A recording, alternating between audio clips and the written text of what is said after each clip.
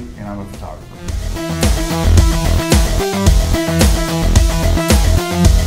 Started working at Olan Mills about 20 years ago. In the boring time, I started playing with the lights, and of course, started taking cameras apart and see what I can get them to do. And after that, it became a hobby, and still is. And I just something I love to do.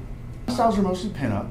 Um, my influences are people like Neil van Niekerk. Uh, I like the simplicity of his photography. He uses a thing called a black foamy thing that he bounces light with, and it was like a dollar. Um, I like to do everything on the cheap, and I don't like Photoshop, so I don't use it much.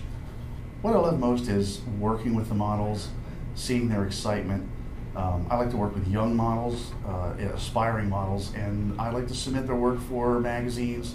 I've been in print a couple times, but it's not really me, it's them that's gotten into print and it makes them happy and maybe it'll launch their career or two. My ultimate goals are that somebody sees what I do, asks me how I do it, maybe even buy one or two of them, uh, make one of those uh, videos like Strobist does where you tell people what the tricks and tips are.